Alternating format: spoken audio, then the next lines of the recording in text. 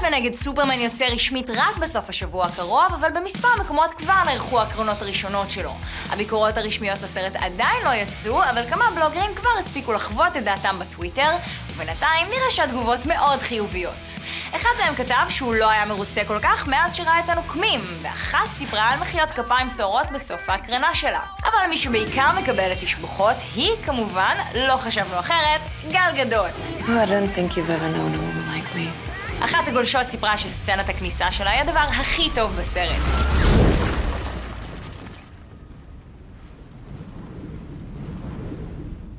She with you?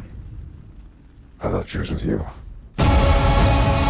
אחר כתב שגל גדות לוהטת, ועוד מישהי צייצה שבקרב בין באטמן וסופרמן, הזוכה הייתה בכלל וונדר וומן. You know, I bet with that dress, nine out of ten men would let you get away with anything.